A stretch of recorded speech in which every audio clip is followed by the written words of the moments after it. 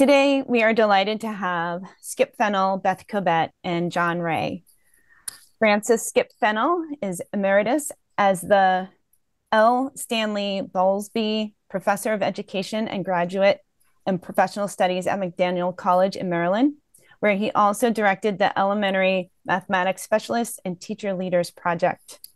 He is a former classroom teacher, principal, and supervisor of instruction and the past president of the Association of Mathematics Teacher Educators, the Research Council on Mathematics Learning, and the National Council of Teachers of Mathematics. He is a recipient of the NCTM Lifetime Achievement Award and Maryland Council of Teachers of Mathematics Lifetime Achievement Award.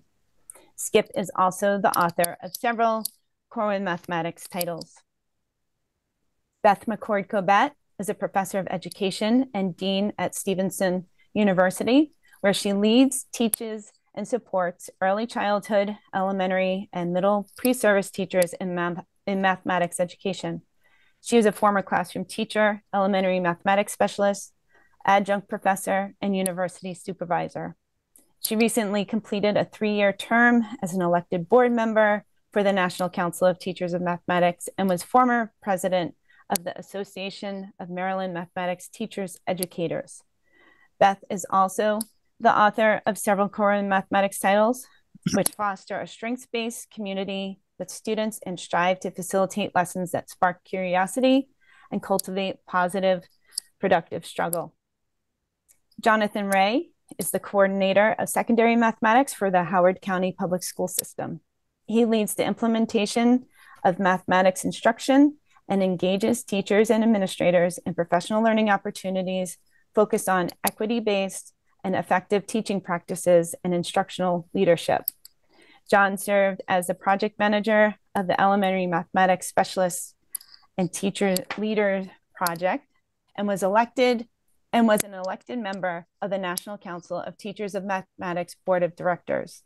He is a former classroom teacher, teacher mentor, and past president of both the Association of Maryland Mathematics Teacher Educators and the Maryland Council of Teachers of Mathematics.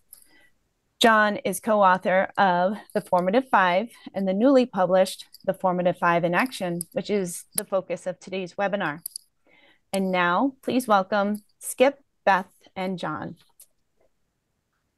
Well, actually, welcome to all of you. Uh, we're we're just delighted that um, on the Monday before uh, an important holiday in this country, uh, many of you have chosen to join us, and so we appreciate that. We've had all the introductions. Let me just linger a little bit on on the importance of our title because we're going to we're going to attempt to connect very carefully issues related to classroom-based formative assessment and feedback and hopefully, these techniques will both engage, inform, and encourage you as you work with other teachers and children. Okay. So here's our plan. We want to we want uh, all of you and and frankly us engaging with you to think about uh, and engage in activities to demonstrate the importance of classroom-based formative assessment, um, not summative assessment, not not stuff that you're going to buy, but but things you direct at the classroom level.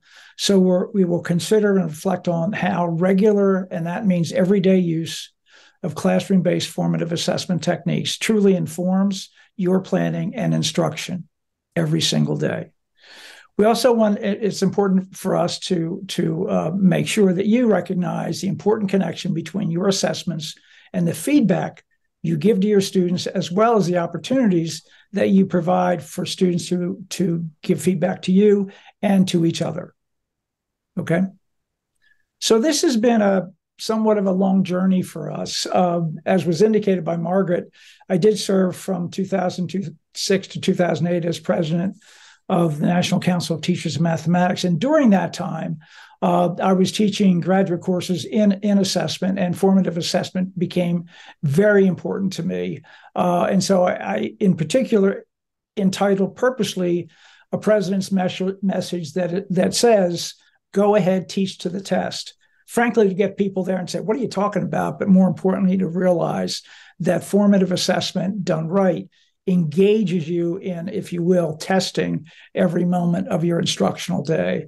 That led to some articles in uh, a journal that we don't have anymore, Teaching Children Mathematics, led to an early publication, 2017, of the Formative Five, which was way more popular than, frankly, we had ever intended or thought about, and led to uh, what we might call the newer, improved edition that really takes a hard look at issues related to, to feedback and conception, um, as as well as uh, other issues that teachers face with regard to uh, classroom-based formative assessment. Okay. So, why this and why now? Um, and and let's let's consider this a three-step approach. First of all, there's clearly a need to emphasize and truly enhance the use of classroom based formative assessment. We saw that need. We heard about that need. As was mentioned by Margaret, for years I directed, and John was the project manager, and, and Beth, the project lead consultant. Um, this project dealt with elementary math specialists, and forever they were coming to us about the need for uh, help, if you will, with regard to helping their teachers, assisting their teachers in the area of formative assessment, hence, hence the need. We also saw and continue to see a tremendous overload. Google sometime, uh, just for the heck of it, John, here it comes. Google formative assessment, and you'll find how many, John? Like 69 million results.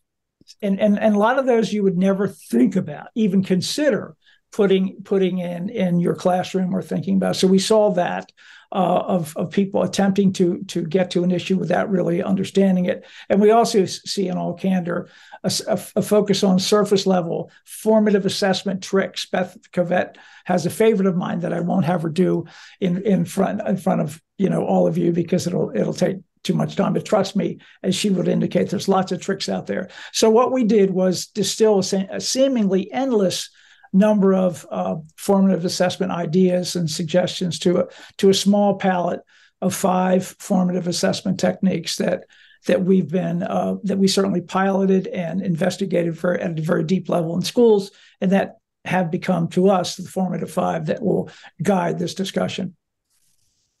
It was really well summarized, Skip.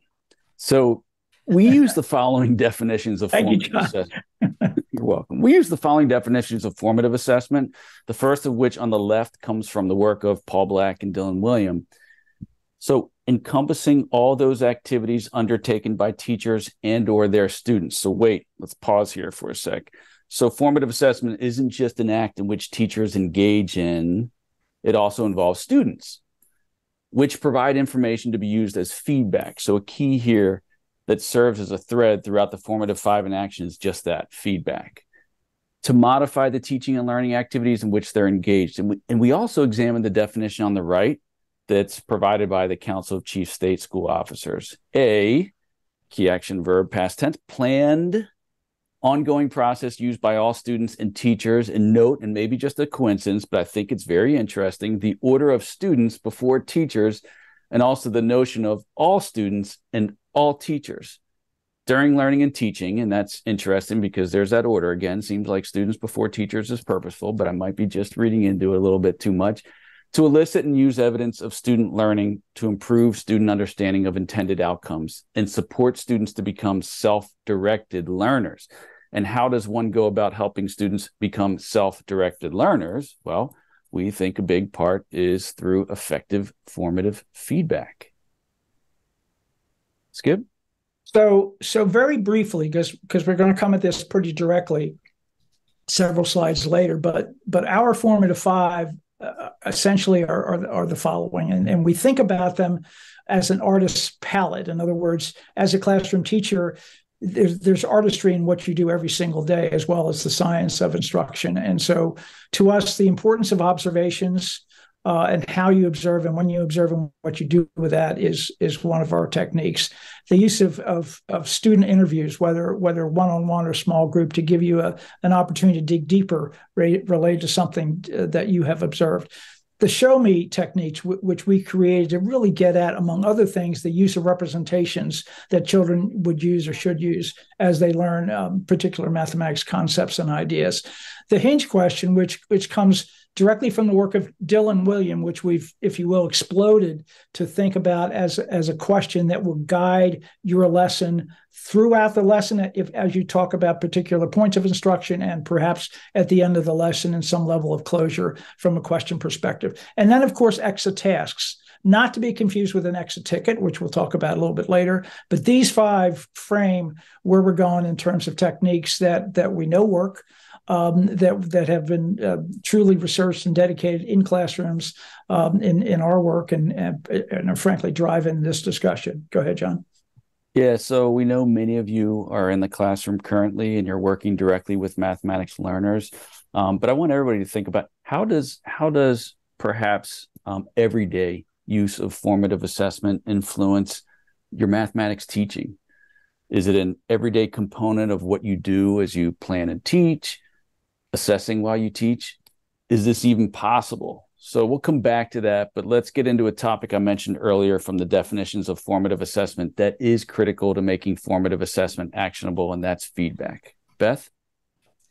Yeah, so my wonderful colleagues have mentioned feedback a couple of times so far, and the the uh, interesting part is that our development of thinking about the importance of feedback and the specificity of when we do it and how we do it became super important as we began to think about this more deeply. And you're looking here at sort of four ideas around it or four attributes around it, and that is about timeliness. Timeliness, like how fast we give it, how quickly we give it, or or even thinking about planning for when we might give it or or withhold it. I think we've talked a lot about this or we're hearing a lot about it, but it's about the type of feedback that we're receiving, um, that we're giving, and thinking about this notion of most of the time the feedback we're giving is very much yes good job you know move along or it's about sort of uh, behavioral. And then this idea of what's the purpose of the feedback? Why am i giving it? And when and if i'm thinking about that purpose it's going to really help me strategize about the specific kinds of feedback. And then also who and we're going to get into this a little bit more but this idea of am i thinking about who is giving it? Is it going to be me or could it be other students and I want you to just look, um, if you don't mind, a little bit about thinking about the social emotional. We have all, and if we had more time, we could think about it. Think about a time when you received feedback that just propelled you and motivated you to do more and more. Like you were thinking, oh my gosh, that's exactly the feedback I needed to move forward. Or feedback that you got that really stopped you in your tracks. Okay. Yeah, really well said, Beth. And and I think about it, it's pretty easy for us to think about, or those of us that are in, in the classroom, or those of us that are teacher specialists or teacher leaders that are watching colleagues in the classroom. Sometimes it's easy to spot the teacher to student feedback. We want you to be thinking also about um, when and how uh, you've seen or you've even on your own facilitated opportunities for student to teacher feedback. That's that's a little bit different. And then also opportunities for students to give feedback to each other. And think about the following you know the quality of the feedback. And are there particular students like beth said who seem to receive more or even less feedback?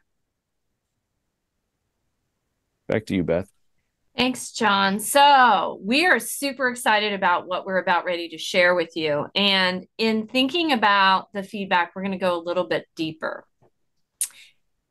In considering the kinds of feedback, and I love that little point that John just made just as he transitioned to this slide. Does everyone get this really high quality feedback, or are only some students getting it? And when we start to think about the depth of feedback and what it looks like, we also want to be thinking about how the students are representing their thinking. And so sometimes as teachers, you know, we were taught, all of us, to just sort of eradicate misunderstanding or misconception and move along. But what we're going to do is think about this a little bit more deeply and give you some characteristics. So let's take a look. So go ahead. Yeah. So, for example, I think we're all super comfortable with this idea of a mistake. Um, but we're thinking about that um, this other term that we've used a lot, which is misconception. And misconceptions, you know, really um, important to understand. But we're going to get a little bit deeper into this. We're going to talk about understandings as mathematical understandings as simply conceptions. What we want to do is kind of um, think about this a little bit more carefully in terms of using that word misconception, which you sort of throw around for anything that students do who are either understanding or not understanding. So we're going to think about that a little bit more. And then we're also going to be thinking about this. I just love this idea of developmental pathways. Our understanding at any one time is on a pathway. We're anywhere in this sort of range. It's not an all or nothing kind of thing. And when we think about student mathematical understanding in that way, it allows us to give much better feedback.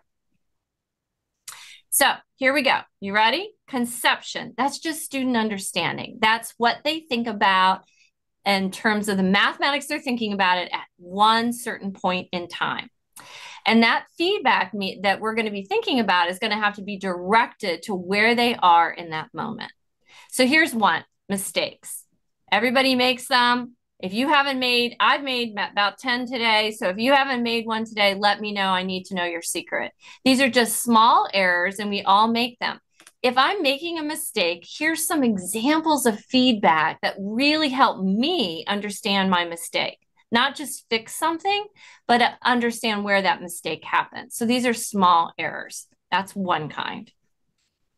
The next kind, we are really, really excited about this. And I just had this amazing conversation today with my early childhood pre service students, because in early childhood, this is really pretty much everybody.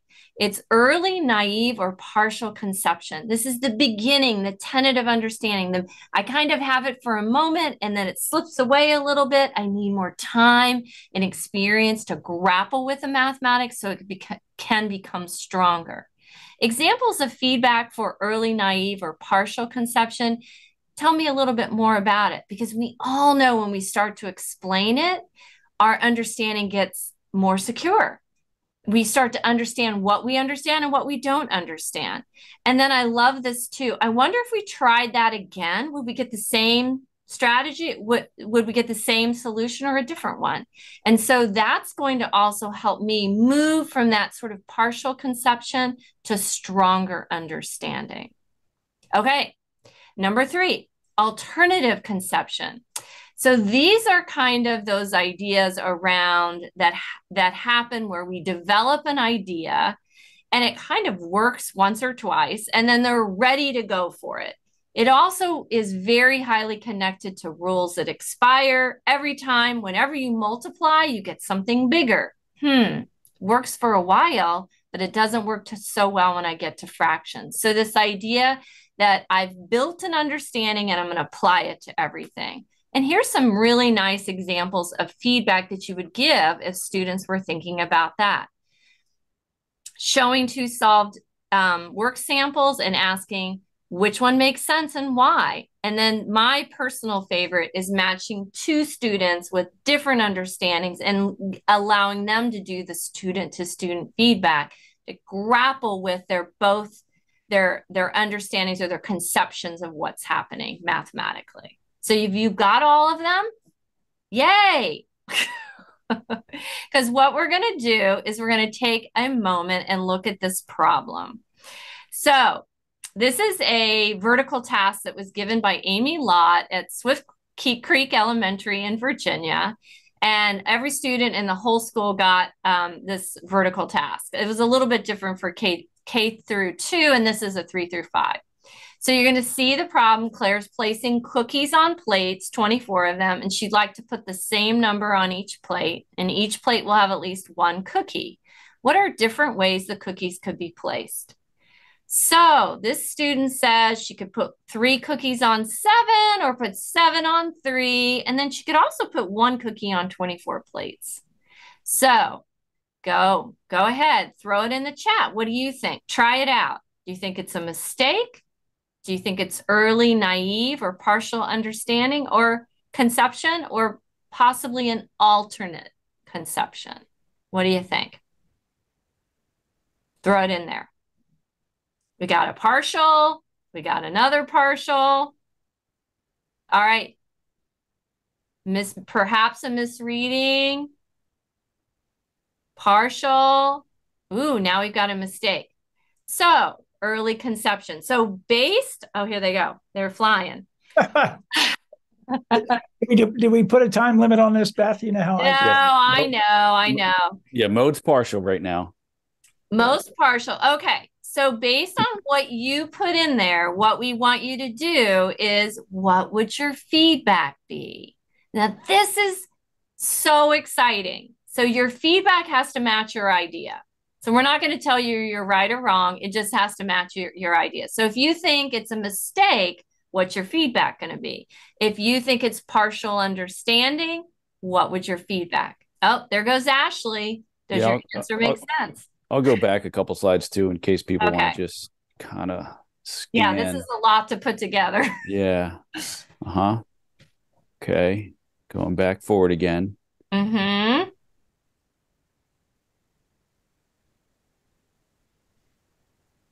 Okay.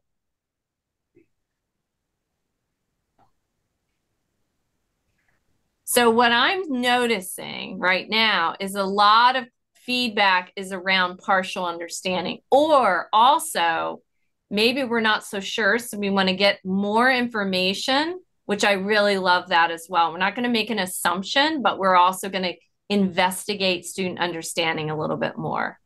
Ooh, here we go. When we try your idea, will we get the same solution? Here they go. So thinking through what students provide us and using this idea of this developmental pathway of understanding and strategically tailoring our feedback. That's the idea behind this. And it's really, really exciting. And I saw that Nick mentioned this. This is also lifting up the student to have thoughtful interaction with the mathematics. There's a conversation that's a, going to occur here. This isn't about correcting it's about understanding. All right, let's check out another one. Ready? Student number two. Love love this mm-hmm. uh, this work here. So I'm gonna I'm gonna bring it in a little bit at a time so everybody gets a chance and and uh, bear with me. I'm gonna read it. Uh, knowing that 24 divided by 6 equals 4 arrow to 24 divided by 6 equals 4 by the way and that arrow to 6 times 4 equals 24 nice inverse operation there we must divide. I'm still not sure if that's like a caret or, but anyway, it says A by six or 24. Okay. I think I'm following it. Everybody following it? Okay, here we go. but we can place the cookies in equal groups of six. Got it. In each row for each plate. That's an arrow from the six or four. Okay, so groups of six actually or four okay i think i think we all got it so we could do arrow to a plate with it looks like eight chocolate chips actually i think they're cookies arrow to a plate with eight cookies or we could split cookies up into a half hmm. For each cookie on a plate hmm. Side note, now I'm bad at this stuff, so I'm completely not I'm not completely sure. Sorry. So all right, let's take this one in here. In the chat box. Would this be um, an example of a mistake or some mistakes, early, naive, or partial understanding or conception, alternate conception? What do you think? Take a moment and flood the chat.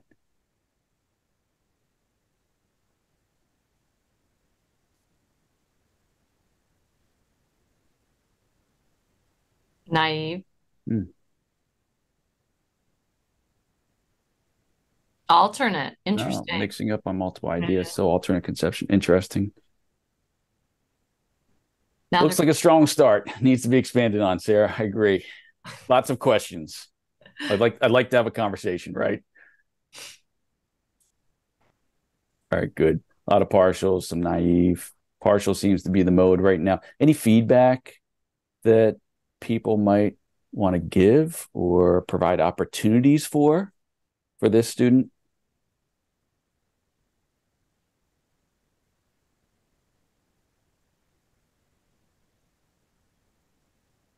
Are there any other ways to get 24? Great. Can you show me? Ooh, using a drawing. Annette, love it. Show me. We'll come to that. Yeah. Okay. Yeah. Mm, nice feedback, Carrie. Mm-hmm. Yeah, that's very nice.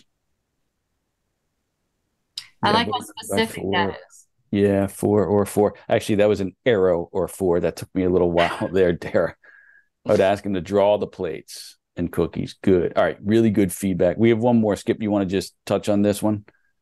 Yeah, we'll look at it uh, very briefly. Same problem, and, and look what this student did. Um, you know, seemingly every conceivable method to to think about how one might approach this, and um, you know, there aren't any right answers here. But um, think of think of your work as a classroom teacher on your feet, getting responses as as we've seen here, and and as as this plays out, pretty quickly deciding where is this student relative to their conceptual understanding? Next john.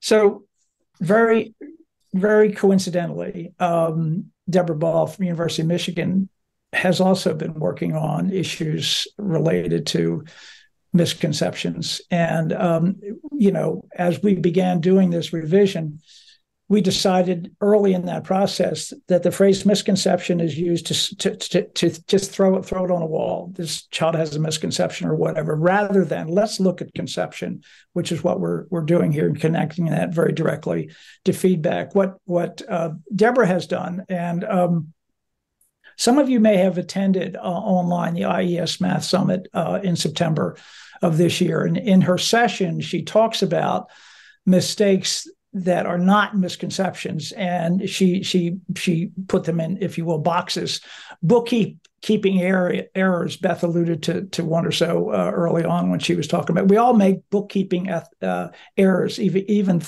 those of us john wray that would be me me who use checkbooks um, and uh, we also I, I, got I got no comment on that. I know you don't because you've already made it. Um, we also find that that kids will be answering a different question, um, not necessarily the one you intended.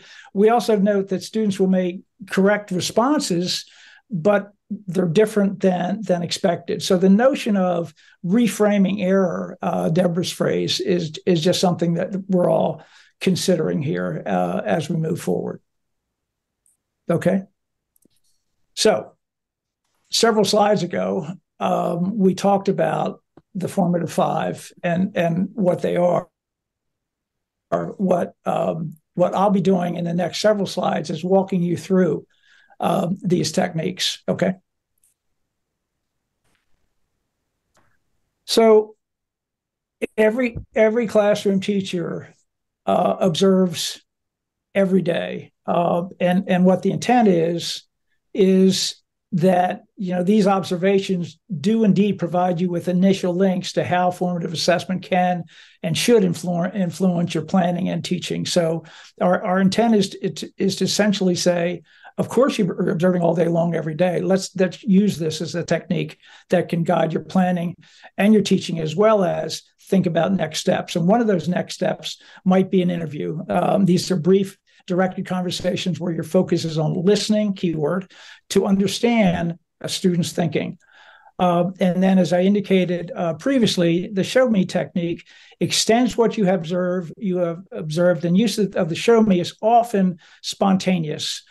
You're walking around, the class, and, and students are doing something. Show me how you did that. Um, show me, show me that with another uh, problem or let's use them these manipulative materials to show me uh, that in a different way. So so these three techniques are very closely connected. In other words you're observing which may which may move you into an interview which may move you into a show me opportunity. John? Observations. As i indicated you observe students all day long. How do they truly influence each of the following one is your ongoing assessment of students. It's now November. you began observing your class in September. You have a different perspective now than this. The observing process is cum- cumulative, and you have a sense of where students are to the point if if somebody asked you how someone is doing, you know that based on, if you will, those cumulative observations. Uh, the feedback and uh, you provide and the timeliness of the feedback is, is directly connected to where that students, where those students are with regard to your observations. And then and then truly it impacts your planning. Okay here's where my class is here's where this group is what's next? And next might be tonight as i plan for tomorrow. John? Yeah as we monitor and observe engaging in strength spotting and comparing what is observed with what was anticipated consider opportunities to engage in conversations with students intended to gather information wow this is key while listening carefully to what students are saying in response to questions. In this quote, this teacher is considering this practice in place of some of the paper and pencil tasks typically used. And Skip and Beth and I found over the years through capturing electronically both written work and the corresponding verbal reasoning of students that the assumptions we make about students' written work alone from an open-ended task are often not always inaccurate, not always accurate in terms of what we hear from students as they respond to follow-up or even interview questions. So consider these interview opportunities as those formative assessment moments that are at the very least a bonus on top of just solely written opportunities to respond to tasks. All righty, so it's your turn again. Um, we're going to give you a situation in, in terms of thinking about these interviews and feedback. And remember, these interviews are, are quite short. Um, they're sort of a lean in kind of interview, um, and it's an opportunity to learn more. So here you go.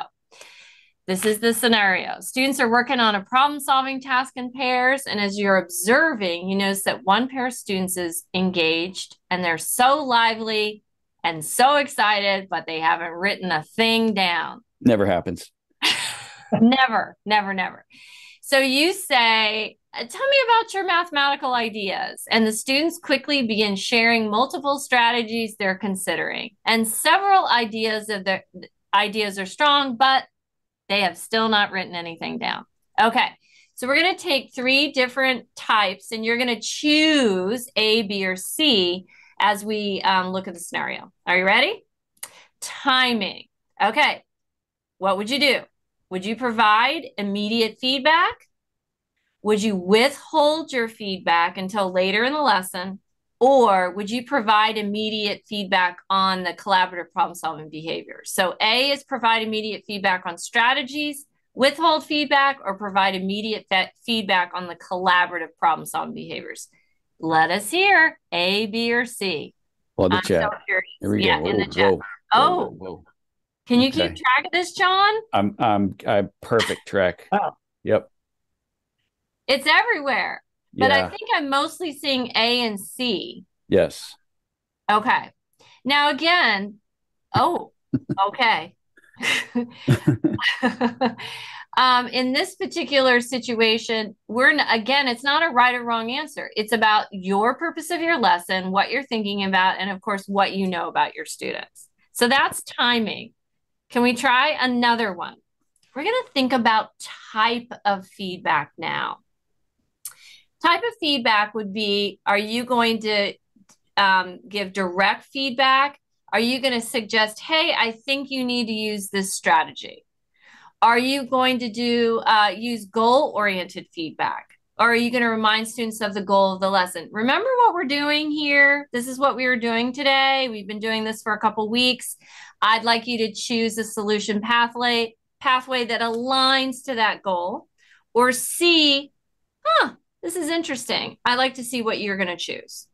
Type of feedback. What do you think? A, B, or C? I'm so interested. What have we got? Can you guys see it? All of a sudden my chats have, okay, here we go. I'm looking at everything again. But this is really an exercise to help you see the different ways and the different kinds of feedback that we might give. Um, my pre-service teachers notice that they are doing the same thing over and over again, and they're not really, they're really trying to think about why and how they're doing it instead of always responding in the same exact way, because we do get into patterns of behavior when we're trying to give feedback. Yeah, a lot of BC, some A's. All right.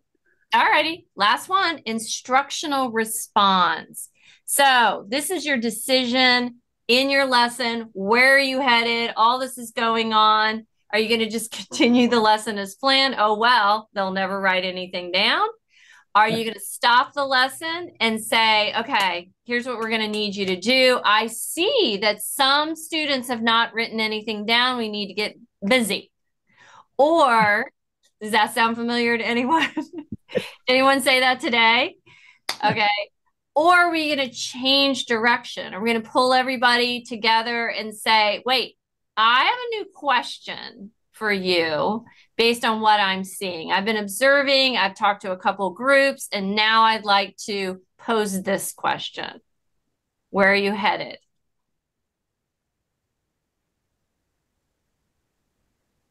I see everything too. It's, uh, it's B and B and C pretty consistently. So no yeah. one's continue. No one's just marching through the lesson, and that's probably really good because we're thinking really about what do the students need at this moment in time, and what is my what? How can my feedback support the mathematical understanding? Great job, everyone.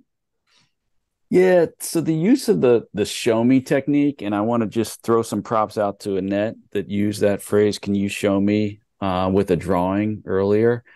That show me technique, while often spontaneous or in the moment, can be anticipated. Just like a student's response to an interview, a student's response to a show me prompt is student to teacher feedback. It's a response to your prompt, your on the feed analysis of a show me response informs your t- teacher to student feedback. But let's think about the reality of such show me responses and and the importance of your analysis of the response and the feedback you provide to your students is critical. So take a moment to consider each of these following statements and the reality of these scenarios. Perhaps they happen to you today. Um, classroom teachers are are there any of you that maybe encountered these recently? And and consider also how you might respond so, what would your feedback be? Uh, a response that's provided so quickly that you wonder how the student actually did that, or a response that you just don't understand. So, we saw that a little bit with student two. Um, and so maybe we would be providing an opportunity for a show me prompt there. Can you show me um, using numbers instead of you know pictures, or can you show me it with a drawing instead of those words and symbols that you use?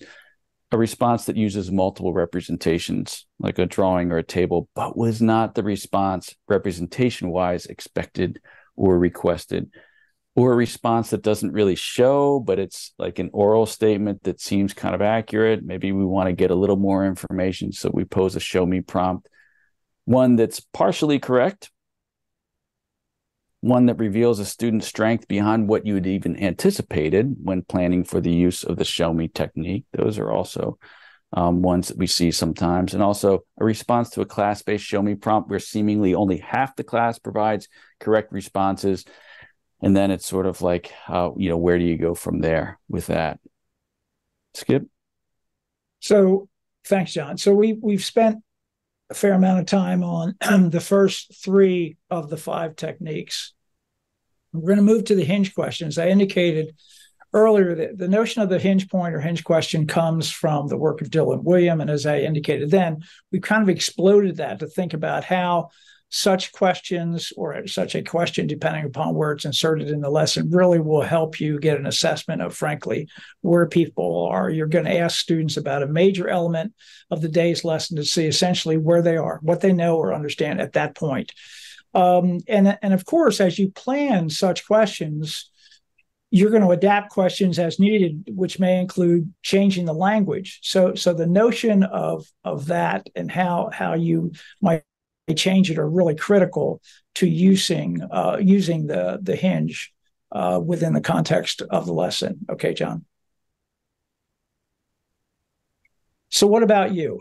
Um, think about the following relative to your own use of questioning and how you might adapt to or consider using the hinge if you're not already doing that. In your experience with questioning, how do you analyze student responses while teaching? I mean, this is one of the, uh, to me, this is one of the observations of an experienced teacher. That person is is asking such questions and on their feet deciding what the feedback might be and how you're going to support students with with regard to those responses. That's one consideration. A second consideration here is the following. How is the use of, of questioning at particular hinge points within the lesson somewhat think about this of a diagnostic activity. You're essentially diagnosing where the students are within that element of the lesson that's going to guide your next steps in terms of, of going forward. And by, by the way, it might guide you to, to sort of stay right where you are because they're not quite ready to take that next step. So, you know, not that we have time, but but it would be a good thing uh, as you work with teachers in, in your school or within at the grade level to discuss the importance of supporting, in particular, multilingual learners and or students with disabilities, because sometimes we forget that the pace of such questioning and the pace of such work would need to be guided uh, appropriately. John? Yeah, just um, Hinge are so Hinge questions are so interesting because there are a lot of sources that have great Hinge questions in them. Some of them are the curriculum materials that you are using in your schools, and others can be found. There's a lot of online sources that have some pretty cool things. Um, they may be in the form of like an open-ended kind of question, and you know, you know, they're intended to be posed uh, you know, whole class rather quickly, assessed pretty quickly. So it might be um, using uh, every pupil response. It could be using things like personal whiteboards. It could be using technology tools, but doing that rather quickly. The the the the amount of time skip that you do all that is about what? Well, we we like to say the two minute rule. Uh, in, in, other words, you know, when you when you think about use of the, the, the hinge in terms of planning, you, you, you provide a fair amount of time at, at, the at the beginning if you're going to use the multiple choice version. If you're going to use a typical question, you you spend a lot of time in terms of interpreting on the in the other direction. So then again, the the, connection here to planning is critical. Um, and yeah, so the analysis is pretty quick. Yeah, perfect. So open it like Skip said, this is an example of more of a multiple choice selected response kind of question.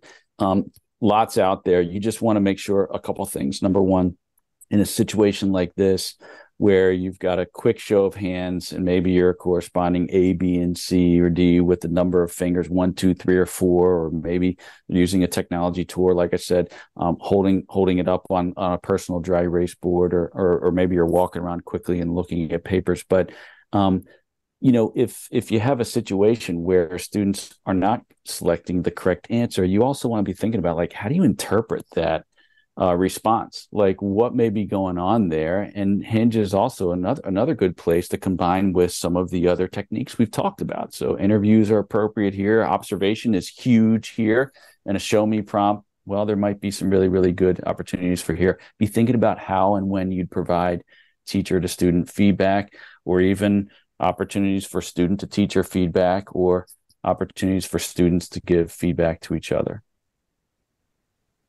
Good, good comments on the chat, by the way, relative to the use of questioning in particular. Um, so we've we've talked about four of the five, and that that leaves us to uh, the exit task, uh, which is essentially providing a sampling of student performance. Often, often the exit task is could could be a closure activity uh, for the lesson. We tend to think that because these have to be reviewed by you, uh, that teachers will, will, more likely use the first four of these techniques every day and, and perhaps the exit task not, not every day.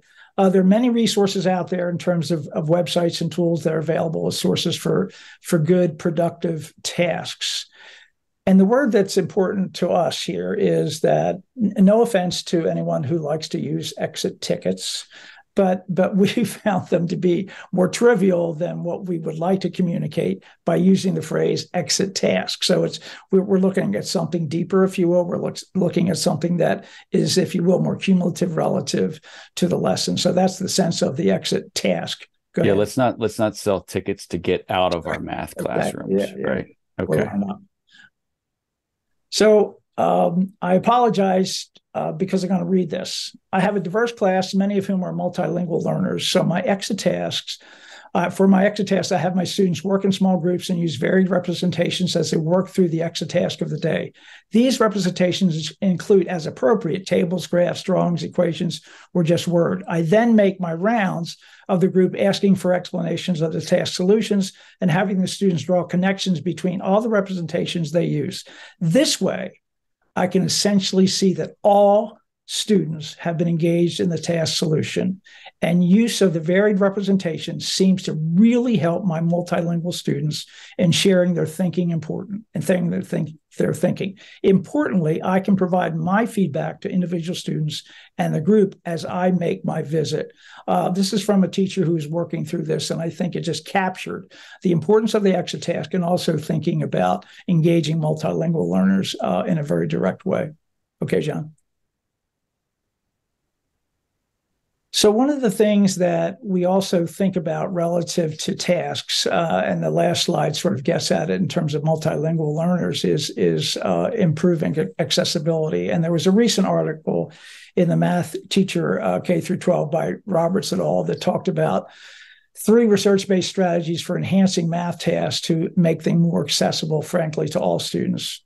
And these can, these include use uh, use and, and connect multiple representations, think through language obstacles, um, contextualize math concept, concepts and problem solving activities to further students' mathematical learning alongside their language development. You notice the, the, the, definite attention to language here. Um, and the question, again, that we don't have the time to deal with as a larger group, but the question for your consideration is how can you adapt your exit task to include the use of multi representations? It's sort of like a show me opportunity with inside of uh, the exit task.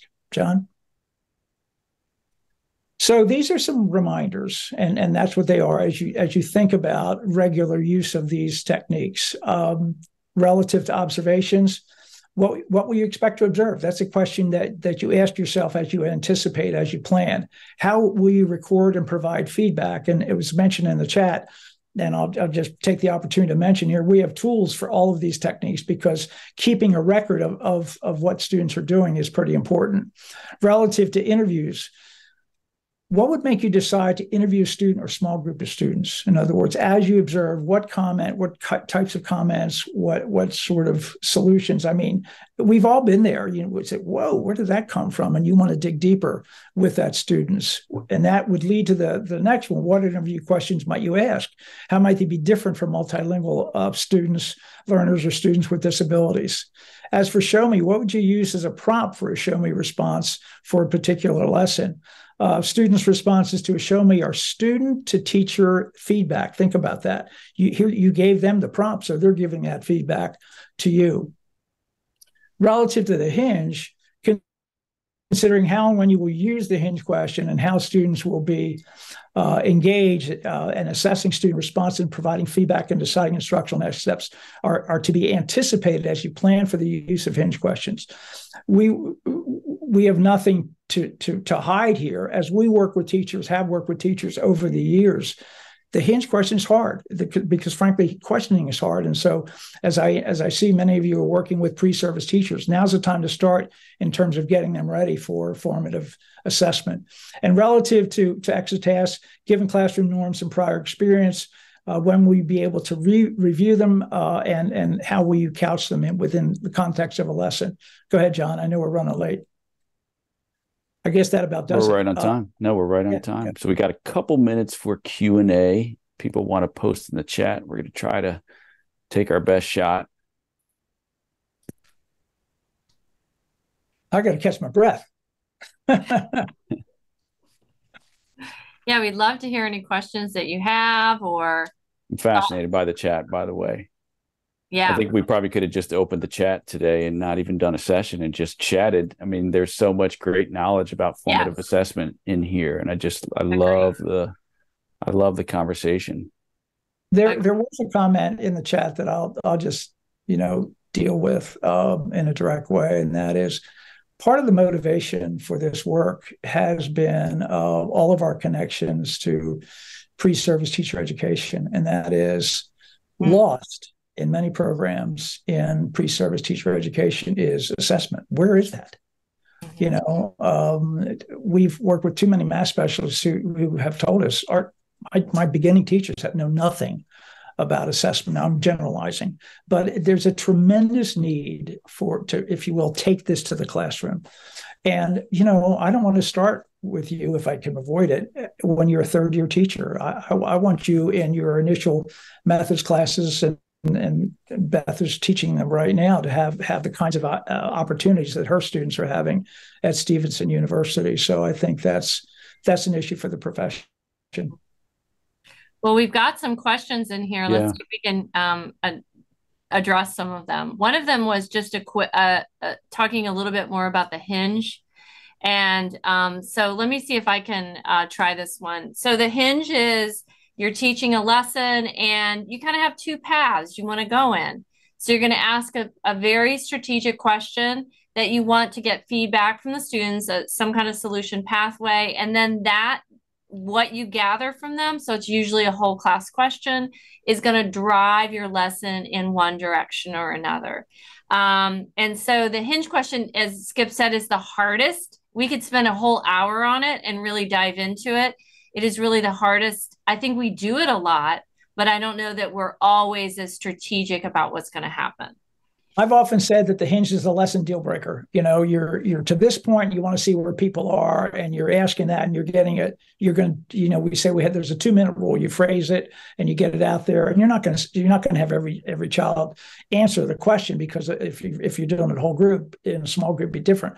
But but you know that's going to guide you in terms of okay, where am I going? Where am I going right now? Where am I going right now as I finish this lesson, or where where am I going tonight when I put plans together for the next day? So yeah. Um, really critical there. Yeah. Hey, Greg asked, do you have examples of exit tasks? And I, and I think a real easy, easy few, Greg, because I think depending on, I, I, don't know what curriculum you use or, or what you use in your school, but like some, some really great places online or like, um, inside mathematics at insidemathematics.org um, illustrative mathematics i'm not talking about the curriculum necessarily i'm talking about the website the the one that's tasks.illustrativemathematics.org um, youcubed is is great. Jo Boaler's work out in Stanford. So, you know, youcubed.org slash tasks is another great place. And there's lots of others. People feel free to um, flood the chat. Somebody at Scott asked, this is a fascinating question. Beth or Skip, I want to hear your your perspective on this. Do you think there should be a progression from teacher to student feedback, then student to teacher feedback, and finally student to student feedback, or keep it organic?